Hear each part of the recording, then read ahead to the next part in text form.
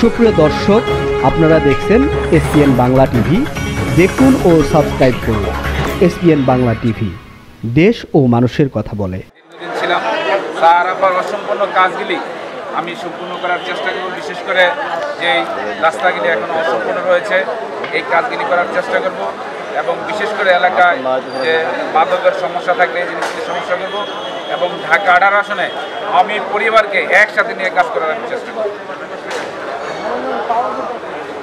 মনোনয়ন পাওয়ার ব্যাপারে হলো জননেত্রী শেখ হাসিনা আমাদের সকল অভিভাবক। আমরা জমা দিচ্ছি। জননেত্রী শেখ হাসিনার যাকেই নমিশন দেয় আমরা তার পক্ষে কাজ করব। নমিনেশন শিউর বলতে কারও স্বপ্ন নাই জননেত্রী শেখ হাসিনা যাকেই দিবে আর জননেত্রী শেখ হাসিনা আমাদের অভিভাবক যাকে নমিশন দিবে তার পক্ষে আমরা কাজ করব